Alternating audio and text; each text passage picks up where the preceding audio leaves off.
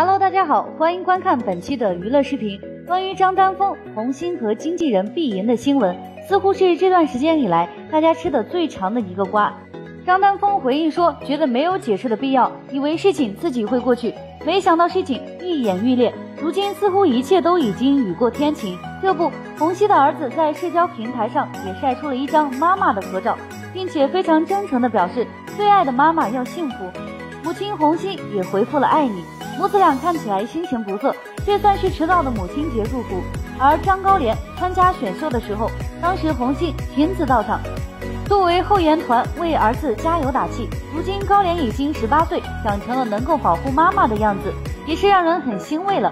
以前都不知道张高莲到底像谁，如今这么一对比，发现母子俩可能除了嘴巴不大一样，眼睛都挺像的。